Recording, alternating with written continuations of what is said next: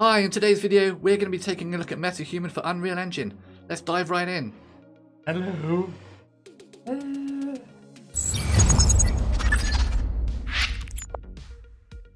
If, like me, you struggle with character art and character design, then MetaHumans is definitely going to be for you. So, what is MetaHuman? I've actually included a link in the description that you can click on and take a look for yourself and digest it in your own time. But as a snapshot, MetaHuman Creator is going to be a new tool that's going to allow artists and developers to create really high quality photorealistic rigged humans, complete with hair, clothing, and all within a matter of minutes.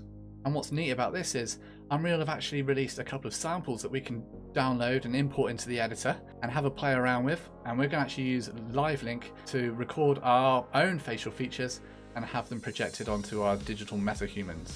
So the first thing we're going to need to do is get our IP address. Uh, so to get that, if you don't know, you can go down to your little magnifying glass in the corner and type CMD, which is going to bring up your command prompt. And then from there, you want to type IP config and hit enter. And then you're going to be looking for the IPv4 address, which is this one just here. So the first thing you want to do is download the LiveLink Face app from the Apple App Store, which looks like this. It's like a, a picture of a head with some polygons in it. And it says for Unreal Engine, go ahead and download that one. And then once it's installed, open it up. Okay, so to get this all set up, so we're ready to communicate with Unreal, go ahead and click on the cog. And then at the top, we'll go ahead and click on Live Link. and we'll, you can set your subject name here to whatever you need it to be and then under targets you can add target and enter your IP address in this box here uh, and then go back and then once that's all connected just make sure you've got stream head rotation marked as on and swipe down to get rid of that now let's jump into Unreal and look how we can connect the live link to our MetaHuman then you want to open up the Epic Games application interface here and go to the Marketplace tab and do a search for MetaHumans. I'm going to bring up uh, this window here. You can get an ex it says external link. You can click on there. It's going to open up in your browser, and then from there you can download it.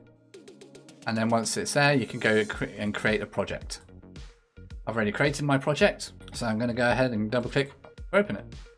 Then once the project opens up, you're going to be presented with this level here, this scene, uh, and I should warn you that this is very resource intensive.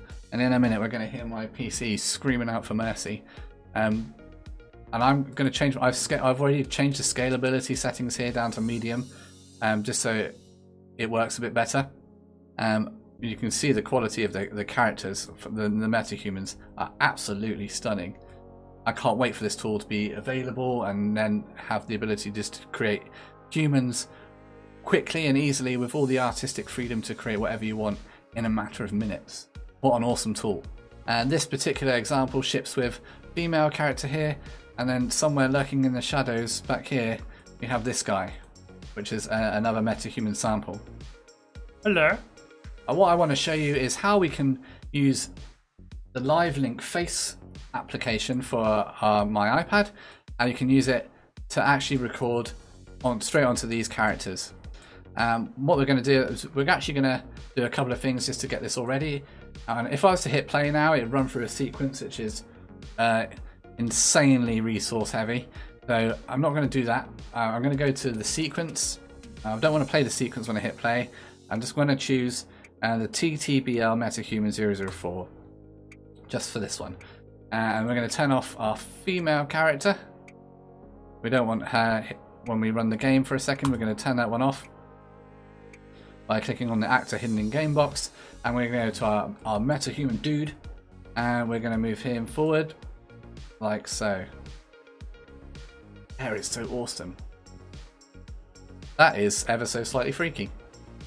So from here, now you want to have your LiveLink Face app open and kind of tracking your face. And under the default tab, under the details section, we're going to drop, change this drop down to whatever you called your iPad.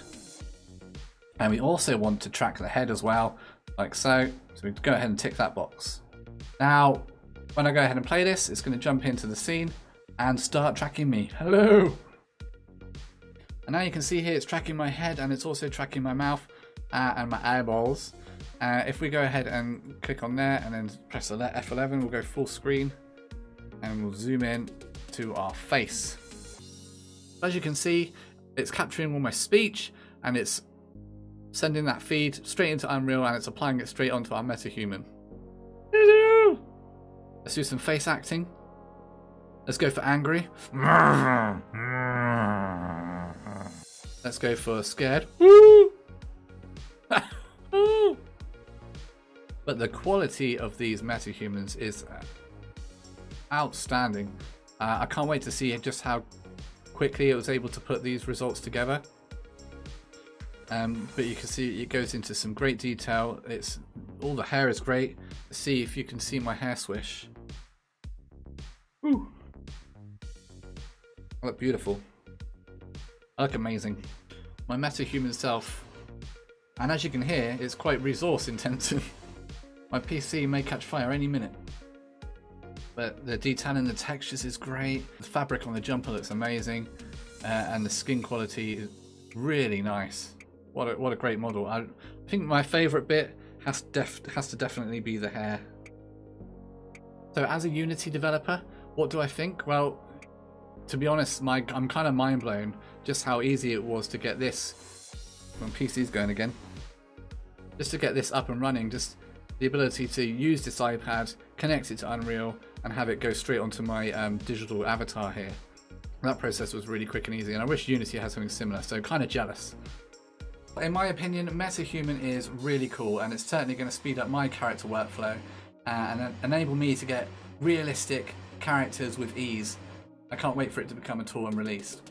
And if you haven't done so, I would definitely recommend downloading Unreal uh, and taking a look at the MetaHuman project. It's all free and seeing what it's all about for yourself. Take care and I'll see you in the next video.